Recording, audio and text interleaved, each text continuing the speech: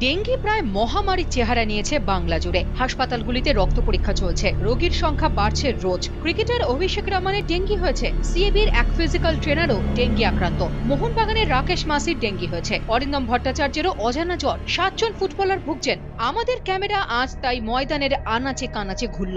মোহনবাগান মাঠে কাজ চলছে। স্টেডিয়ামের নিচে বা তাঁবুর আশেপাশে জমা জল মশার লার্ভা জন্মানোর উপযুক্ত জায়গা। এবার আসুন ইস্ট বেঙ্গলে কালভার্টের নিচে নোংরা জলেই যে মশার আঁতুর ঘর, ফাঁকা কৌটোতে জল জমছে। জিমের সামনের অবস্থাটা দেখুন। পেছনে জঙ্গল, মশাদের বারবারন্ত এখানেই সিএবিতেও এক ছবি, ইনডোরের পাশে বা স্টেডিয়ামের নিচে। অস্বাস্থ্যের কুরুচি প্রদর্শনী যেন। সল্টলেক স্টেডিয়ামের চারপাশের অবস্থাটাও একবার দেখুন।